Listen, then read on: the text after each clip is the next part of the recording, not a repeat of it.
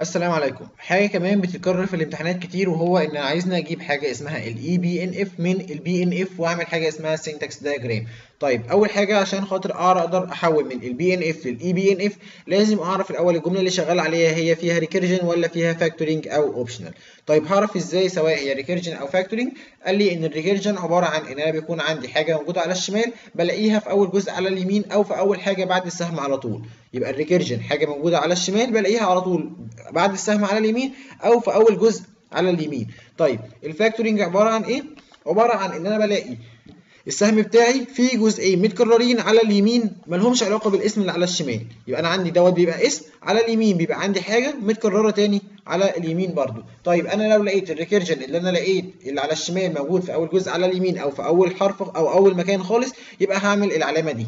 لو لقيت ال factoring أو ال optional يعني إن أنا لقيت على الجزء اللي في اليمين في حاجتين شبه بعض موجودين مرتين يبقى هستعمل الاقواس دي.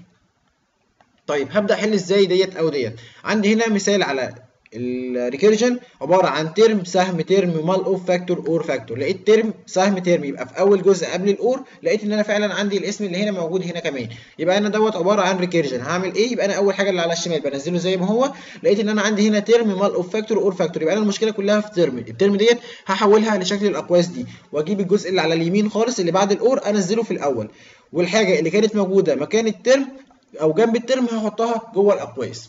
يبقى أنا عندي أول حاجة بعملها الجزء اللي على اليمين خالص بحطه بعد السهم. بعد كده ال term اللي كان فيه مشكلة عوضت عنه بالأقواس دي. ليه بالأقواس دي؟ لأنه recursion بعد كده اللي كان موجود جنبه حطيته جوه الأقواس. طيب لو optional أو factoring هعمل إيه؟ الجملة بتقول لي if statement سهم if expression statement بعد كده or if expression statement else statement يبقى أنا فعلا لقيت إن في جزئين على اليمين شبه بعض. المش... الحل دوت هعمل بيه إيه؟ هعمل if statement هنزلها. بعد كده لقيت if expression statement من المرتين هنزلها مرة واحدة بس. بعد كده عشان خاطر هما الاثنين متكررين على اليمين فده معناه factoring يبقى هنزل القوس اللي بالمنظر دوت والحاجة اللي كانت موجودة جنب التكرار هنزلها بين القوس ده.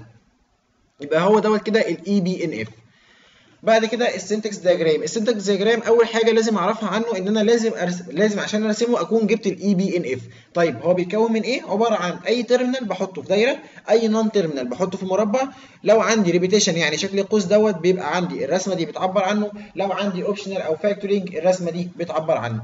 طيب إزاي المسألة بتيجي؟ يبقى أنا عندي حاجة بالمنظر ده كده بيقول لي if statement if expression statement or if expression statement. لقيت إن أنا عندي حاجتين على اليمين زي بعض هعمل إيه؟ يبقى شكل القوس دوت. يبقى أنا عندي الشمال هينزل زي ما هو هنزل الاثنين دول مرة واحدة بعد كده هنزل القوس دوت لأنه الاثنين متكررين على اليمين. يعني factoring بعد كده else statement اللي كانت موجودة مع التكرار نزلتها بين القوسين. طب هبدأ أرسم إزاي؟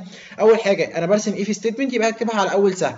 عندي ال if نزلتها terminal بعد كده القوس terminal ال expression non-terminal وهكذا لكل الحاجات كلها. شكل السؤال بيجي إزاي في الامتحان؟ حاجة من الاثنين دول يا إما بيديني مجموعة rule ويبدأ يقول لي اعمل لهم ال EBNF بتاعهم فأنا هبدأ أشوف كل واحدة منهم سواء هي recursion أو factoring وأحولها وبعد كده بيطلب مني إن أنا أرسم ال diagram بتاعهم. يبقى أنا عندي هنا كل الجمل أي terminal في دايرة أي non-terminal في مربع.